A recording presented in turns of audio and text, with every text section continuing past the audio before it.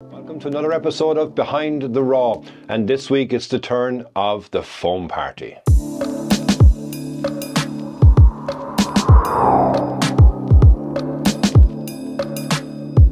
Welcome back to the channel, welcome back to the vlog, and welcome to another episode of Behind the Raw. So now in episode 5, it's the turn of Foam Party.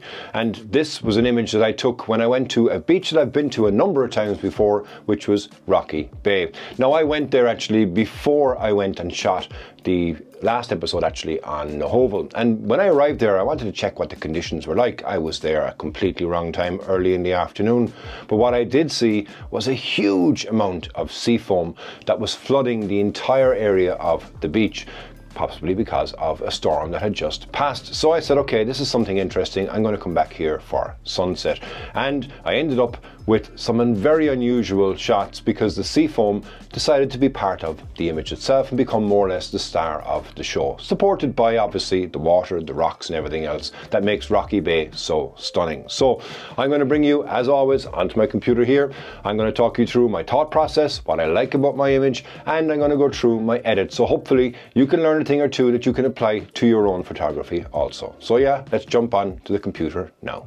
Okay, so I'm over here now on the computer and I actually want to show you a couple of things, which is what I one of the main reasons why I love seascape photography. So here's the image that I've chosen that we're going to edit. But I want to show you something interesting here. On the left hand side, I have just a sample few images from this shoot. And if I start here and give you a look at the first, first image, and we'll see a sequence of just one wave. So this is exactly the same composition, okay? And you see that this wave now is starting to come in up here. But watch now as I roll through this, you see this wave coming through. And then all of a sudden it reaches the rocks that are in front of me and then it starts to explode into action. Now it's exactly the same composition, you know, you're getting a different flow of water from every single frame. And looking at each of these shots, I could edit a number of each of these because I think each of them has their own merits. Like I, for example, I love on this one, you've got the cascading water here, you've got this coming in and it's kind of wrapping around this rock. The texture in this rock is incredible. You've got the bit of sea foam, which was again the star of the show for this episode. And then up here, you've got this other wave that's coming through and starting to roll and break against these rocks. And as I roll on on this, you see now it starts to fill this channel. So here, it's completely leading the eye from the left-hand side all the way up. And then up here, if you look, now that's about to explode up here on the next wave. Meanwhile, we still have all of this detail that's coming through here. And then sequence again coming through, more water action, more wave action here. And I love this one actually because it looks like it's bubbling up. If I go back one and then look at it, the next one, it's like as if it's bubbling up in relation to this area here. The next one after that, still continuing to bubble. Some great texture and movement in relation to that. And each of these shots were taken at an unusual time for me, but these were taken at one tenth of a second. And I think they were actually taken while I was talking to camera, which is quite interesting. So it's not often that that happens, but I was doing a piece to camera and I saw the wave coming through, so I just held behind and held my finger on the shutter button and that just kept taking the shots as the water were coming in. Still coming in still coming in here. Now it's starting to retreat back out. And you can see look at all the bubbles and everything that are created around here. Still have movement in relation to that. That big wave out here look at it breaking beforehand. Now it breaks out here and it's now cascading back down. And again you know all this just from one composition. But the image actually that I'm going to um, edit is this image here. So I think it was probably let me see one, two, three, four, five, six, seventh image in the sequence of those uh, images I take for that one single wave. But I'm going to talk through in relation to what I like about this image, the approach that I'm taking from the editing point of view as well, and a couple of things as well just to be mindful of and to watch out for. But yeah, that's an example of how many shots you can take when you're doing seascape photography because every shot is going to be different and every wave will cascade differently as well also. So starting out in relation to um, this image here, I'll follow my usual process and what I normally normally normally try and do. So the first thing I want to do here is I want to make sure my horizon is straight. Now looking at this here, it's slightly off. So I can go in here, click on this, and I can just grab and straighten using this tool. So I'm looking here at the um, horizon line, if you follow up here and then you look at the um, crop lines, you can see that you can line it up in relation to that. So I think, yeah, okay, that's possibly straight. Let's do a quick check. Let's see if auto works. No, I, I mentioned on a couple of episodes previously of this, auto doesn't necessarily always work. So I've done auto here, and if you look at that, it popped it up on the right hand side. Now, what that is, it's actually bringing it back more or less to where I would have had it if we look at the bottom of the frame here. So looking at that here, I don't think that's straight. It's not straight because if you look at over here is closer to the, the, intersecting line than it is over here.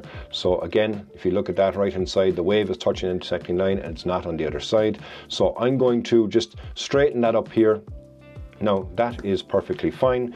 So now I think that's the first step that I want to do. The next step, and again, is always a good thing to do, is just to hit on auto, see it, what it's going to give you an idea of how the image is going to turn out. So from that point of view, yeah, it's okay. I don't like it um, because I think it's too harsh, too contrasty. So I'm going to undo that and I'm going to apply my own uh, edits. So first thing I want to do is check my white balance. So at the moment it's 6,500. I think this could be a bit warmer. So I'm going to bring this up here and I'm thinking, looking at this, I want to kind of get it up maybe around about 8,000. So if I look at that here, yeah, I think that's a bit better. I'm starting to see the color change in the sky. Now, if I look at my histogram again here, it's telling me this is dark, and I purposely did that because I exposed for the highlights, so there's nothing blown in the sky here. But a good rule of thumb when you're starting your edit is to catch your exposure and bring it all the way down and see is there any bright areas within the image. And that for me is the brightest part of the image up here, which is the sky. So that's what I need to be conscious of when I'm editing, because that's the area that could be potentially too bright within the image. So um, clicking my exposure, bringing it back to to here now again. So now I want to do is look and say, okay, what can I do with my highlights? So if I whack my highlights over to the right hand side, there is the example, as I said, the sky being overblown. So I don't want to whack my highlights up too high anyway. It'll also give you a visual representation up here on the histogram. So I want to just increase my highlights slightly. Now shadows is something that I definitely will need to increase here, but I'm not going to go spinal tap and go all the way to the far right hand side on this. And I'll give you an example as to why. So if I take my shadows and bring my shadows all the way up, yes, I get all this lovely detail that's within the these rocks and now it's all visible. But the problem that I have with this image is that it looks far too HDR and I don't want to have that. So I think I'm going to increase my shadows, but I'm not going to increase them that much. I can play around with that when I'm looking at the blacks separately. Whites, very, very important. But if I look at this image here now, as it stands, I am quite bright in relation to this image. So what I'm going to do is I'm going to approach this image in two different ways. I'm going to edit the main part and then I'm going to tackle the sky differently. So that'll give me a bit more flexibility because I can increase all of the exposure in the main part of the image and then that's going to blow the sky, but I can tame that back down again then by using my linear gradient. So for here, white's very important. I want to make sure that I can bring those up as much as possible. And I'm looking here, that's going white, which are red, which is telling me it's overexposed. But I'm more interested now for this, which is on this part of the uh, frame. So I'm going to increase my whites here slightly, that much I think. My blacks, if I bring them down, it crunches all of those and you don't get that uh, detail within the image, let's just say. So I'm going to bring my blacks slightly up now again, no, similar to what I would have done in relation to the shadows, only a small amount is needed here. And then I'm going to apply some dehaze. And not a lot of dehaze is needed here because there wasn't much haze in the sky. But by applying a small bit of dehaze here in relation to that, you can start to see that it starts to bring the image now more together. Vibrance for me, is something that I like and I want to make sure I'm increasing that. So I think I'm going to give that maybe around about maybe a 16, not maybe 24 actually I think will work here. And now again, look, looking at this image, the sky looks completely a mess and it is a mess right now. We're going to deal with that because I'm dealing with the foreground first and foremost. And I'm just going to give it uh, just maybe a touch of saturation. So that's the first step that I want to look at here. The next step I want to do is I want to tackle this sky. So if I turn off this highlight it'll tell me here in relation to what I need to be looking at at the sky. But I want to always use my trick, which is to go into my dehaze and whack my dehaze all the way up. Now if you notice here, I can see a couple of artifacts in the sky, and those artifacts in the sky are birds. So you can see these streaks that are going across here. The birds are flying across there, so I want to get rid of those. So I'm just going to take my healing tool. I'm just going to go on the center of those, look and see, is it going to take it? Yes, it has. I'm going to take out that bird. I may leave him, but he is slightly moving, so he's not exactly sharp. And then I'm going to take this out here. Now looking at that as well here, maybe I look like I have a big water spot on the sky. So I'm going to um, just take a larger brush here. Going to click on this, see if I can get rid of it. Okay, it's taking a bit of the cloud that's there. That should work. We'll just bring back down our dehaze and see yeah, that works for me. Okay, so now I'm going to take my image back into fitting on the screen. And the next thing I want to do is say, okay, do I want to crop my image? So if I want to crop my image, for example, I can go in here and look at a 16.9. A 16.9 for me does work well, but at the same point, I wanted to have more of this visible, or I want to have some of the sky that's visible. There's some nice clouds that are here which will come out once I start adding some color in relation to it. But for me, I don't think I'm going to um, change that. I'm going to leave that as shot. Now, when I did my video on it, I actually did a 16.9 because I wanted it to fit better into the video. But from an image point of view, just to get the most detail, you don't necessarily need to do that. And I just spotted something else now right here, which is uh, another bird. So I'm going to break my brush in very quickly and take out that there. So from a, an edit point of view, it's okay, but I need to now take a couple of extra steps to be able to bring out the most in relation to it, and that's where I'm going to play with my contrast. So if I look at the histogram here, it's very much so spread out, so it's a, a tale of two halves. You got your darks and you got your whites, and you've got not much in between. To, to fix that, you can take your contrast and you can bring it over to your left-hand side, which brings more of the detail into the center, so it gives you a more balanced image. Now, to give you an idea visually, if I whack my contrast over to the right-hand side, you see it really crunches it, but it makes it too textury. Uh, from here, bringing it down, you get a bit more detail uh, on, uh, available in the rocks, but you also keep the detail here within the waves. And then the next thing, I suppose more or less the, the second to last thing I want to do on this, is apply a linear gradient. So by applying linear gradient here to the sky, I can bring this down. I want it to be relatively soft, so the longer you bring this down, the more it changes from hard, hard to soft. So I'm going to bring this down here, and I'm going to drag that down as far as here. So I don't want it to be exactly on the horizon because I wanted to kind of feather off in relation to it. And now all I'm going to do on that is I'm going to look at my highlights because that were the areas that I said, okay, I wanted to be conscious of that were brightest part within the image. And by bringing down my highlights now, you can see that this image now starts to become more balanced. You're starting to see these clouds. You're starting to see these colors as well that are there. And looking at that, I say, okay, maybe I'll just give this a slight touch of saturation just to increase that sky because there was colour within there but you know it wasn't a lot but there was still enough and I want to be able to bring that out in relation to the image. And then the other thing I want to do is I want to do something with the base here. I love this wave. I love the details in relation to the rock. I love the subtleness that you have of the foam that's coming through here. And even if I give you a look at something which you know exploring the image look at this area over here. Look at the way the water is cascading like that. It's like uh, like, like a glue going over the top of that rock.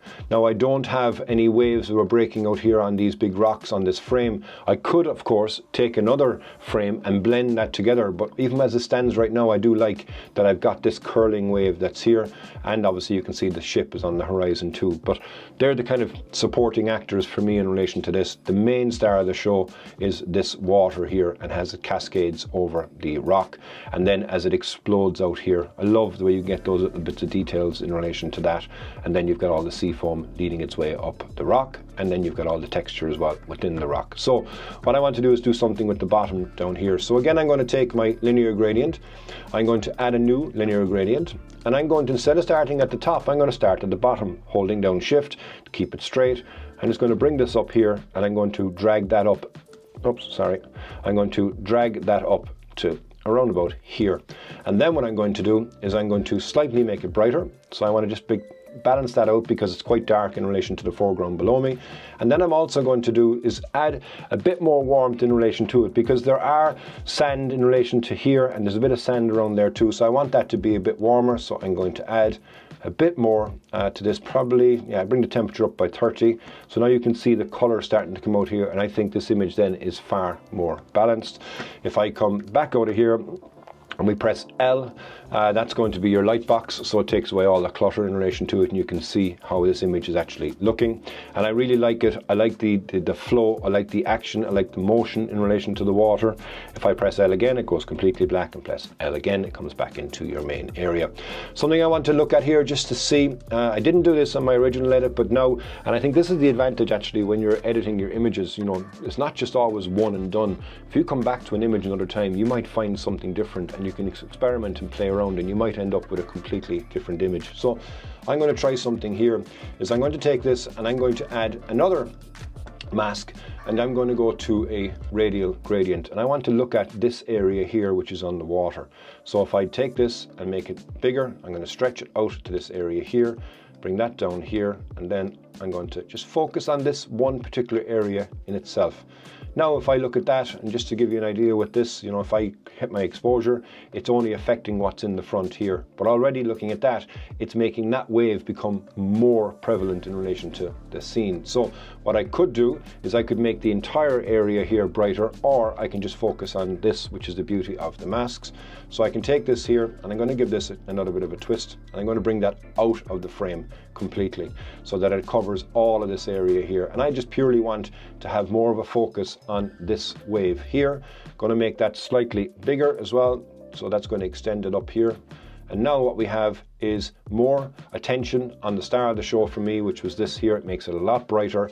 And if I um, were to turn that on and off, you can see that's it before kind of dark and murky, but now straight away here it is becoming more alive. And then you can also look and say, okay, what do I want to do on this? I want to add a bit of texture.